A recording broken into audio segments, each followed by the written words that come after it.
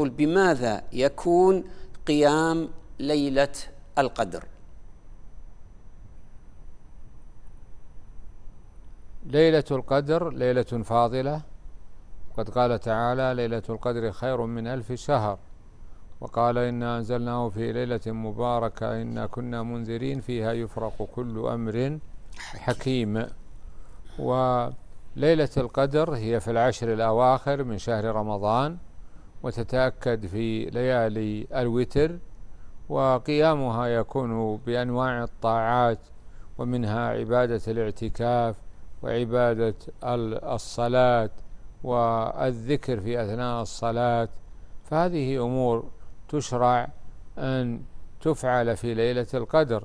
وهكذا يشرع للإنسان أن يكثر من الدعاء كما قالت عائشة رضي الله عنها كان يكون علينا الصيام كان كما قالت عائشة رضي الله عنها يا رسول الله رأيت إن أدركت ليلة القدر ما أقول؟